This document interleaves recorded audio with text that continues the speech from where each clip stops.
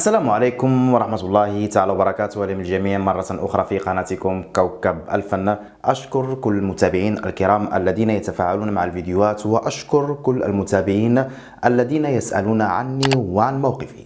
شكرا لكم كثيرا وحتى لا أطيل عليكم أترككم مع عناوين هذه الحلقة.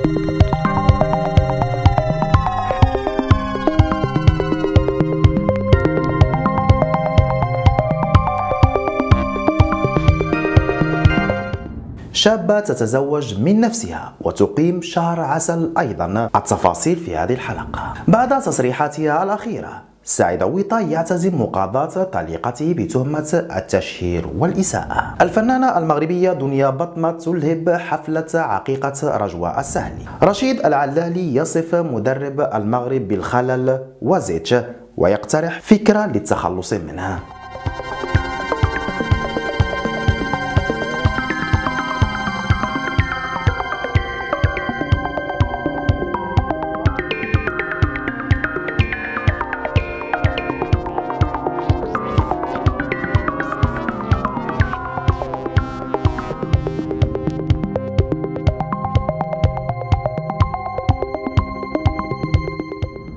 تستعد فتاة هندية لخوض تجربة ارتباط غريبة جدا حيث أعلنت عزمها على الزواج من نفسها. خلال مراسيم حفل زواج تقليدي سيعقد خلال أيام. لكن المثير أنها ستذهب في عطلة شهر عسل أيضا. وأعلنت الشابة الهندية كاشاما بيندو البالغة من العمر 24 عاما أن يوم زفافها الغريب سيكون في الحادي عشر من يونيو حيث ستدخل القفص الذهبي وحيدة بلا شريك. متزوجة من نفسها. وبحسب صحيفة ذا تايمز اوف انديا على الرغم من غرابة الحالة إلا أن حفل الزفاف سيشهد أداء الطقوس التقليدية في ولاية غورجارات مع ارتداء اللون القرمزي مع استثناء أهم أركان الزواج وغياب النصف الآخر أي العريس. وقالت الفتاة في تصريحات لوسائل إعلام هندية لم أرغب قط في الزواج لكنني أردت أن أصبح عروسا لذلك قررت أن أتزوج بنفسي. وتابعت الشابة التي تعمل في شركة خاصة. قائلة ربما أكون أول من قدم مثالا على حب الذات في بلدنا. مشيرة إلى أن الزواج الذاتي أي بالنفس هو التزام بأن تكون هناك لنفسك وحبا غير مشروط لنفسك. إنه أيضا فعل قبول الذات يتزوج الناس من شخص يحبونها. ونوهت الفتاة إلى أن والديها بارك خطوتها وأن ما تحاول تجسيده في هذا الزواج هو أن المرأة مهمة كما تعتقد. الأمر الأكثر غرابة هو أن الشابة أعلنت أنها ستذهب في عطلة لمدة أسبوعين كشهر عسل بعد إتمام إجراءات حفل زفافهما لكنها لم توضح كيف ستقضي هذه الإجازة الزوجية.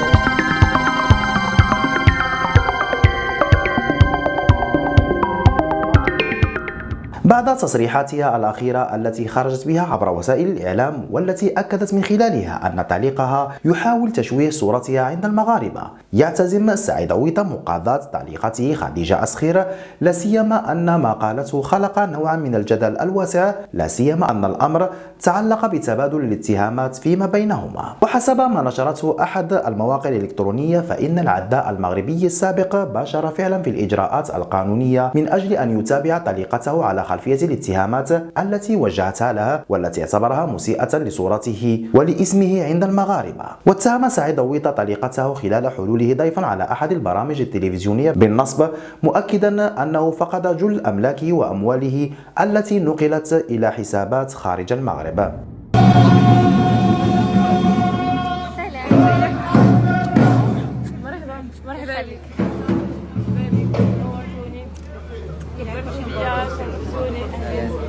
مرحبا بك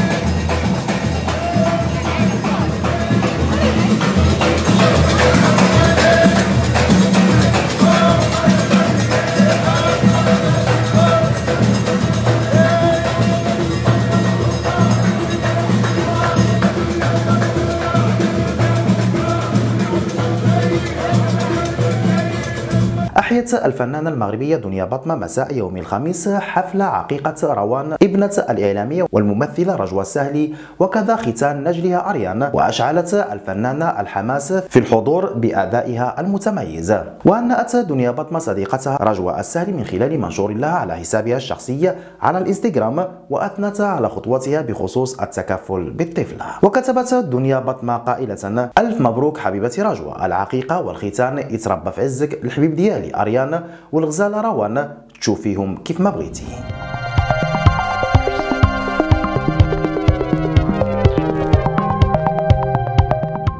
تفاعل الإعلامي رشيد العلالي مع المستوى الباهت والمخيب للآمال الذي ظهرت به العناصر الوطنية في لقائها الودي الذي جمعها خلال اليومين الماضيين مع منتخب الولايات المتحدة الأمريكية.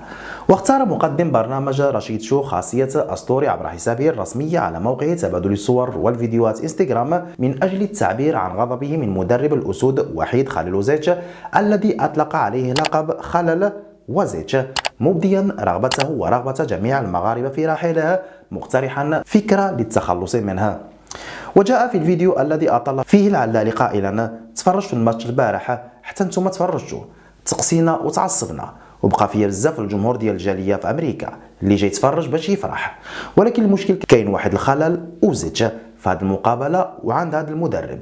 وتابع قائلا صراحة حنا ما كنفهموش في الكورة بزاف ولكن هذا المدرب هذا حنا كنا كنتمناو أنه يتم الطلاق معها وهذا مؤخر الصداق اللي كيتسال نتفرضوا فيه حنايا. وفي الختام خاطب رشيد العلالي خليلوزيتش قائلا على غتمشي لكأس العالم تلعب مع بلجيكا وكرواتيا وكندا بهذا ال niveau هذا؟ والله إلا خلل وزيتش بالله. يشار إلى أن المنتخب المغربي قد مني بهزيمة عريضة أمام المنتخب الأمريكي وبحصة ثلاث أهداف من دون رد في المباراة الودية التي جمعت الفريقان على أرضية ملعب TQL بمدينة سينسيناتي بولاية أوهايو الأمريكية.